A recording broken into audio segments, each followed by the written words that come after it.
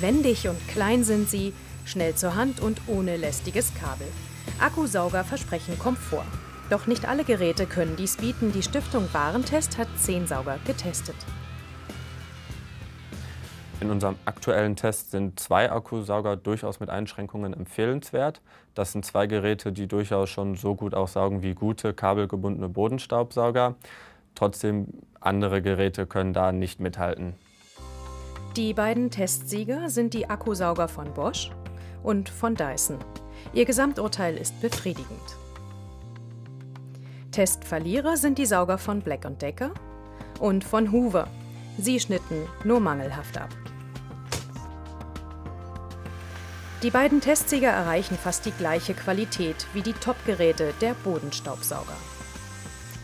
Auf Hartboden saugen sie doppelt so gut wie das Schlusslicht des Tests. Auch mit Teppichböden kommen der Dyson und der Bosch gut zurecht. Wer sich die Wohnung mit Katze oder Hund teilt, für den sind Akkusauger eine gute Option. Ein weiterer Vorteil von guten Akkustaubsaugern sind, dass sie teilweise Tierhaare besser vom Boden wegbekommen als Bodenstaubsauger. Das liegt daran, dass sie mit einer Elektrodüse samt rotierender Bürste arbeiten.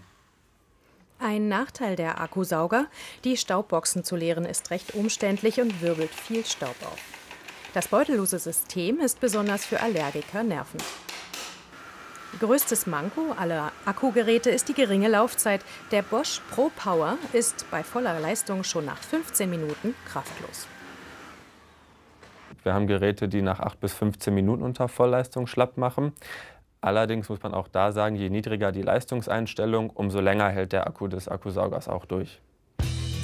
Der Akku von Bosch braucht mehr als sechs Stunden zum Laden. Der Dyson ist schneller, er benötigt knapp zweieinhalb Stunden. Zweite große Schwachstelle der Akkusauger ist die Lautstärke.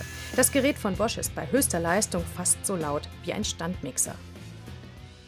Akkustaubsauger sind definitiv lauter als Bodenstaubsauger. Unser aktueller Testsieger beispielsweise ist empfunden viermal so laut wie ein Bodenstaubsauger. Der Testsieger hat in 15 Minuten rund 60 Quadratmeter geschafft. Ob sich der Kauf lohnt, ist schwer zu sagen. Akkustaubsauger eignen sich eher für kleine Wohnungen oder für den kleinen Putz zwischendurch. Alle anderen sollten zum Bodenstaubsauger greifen.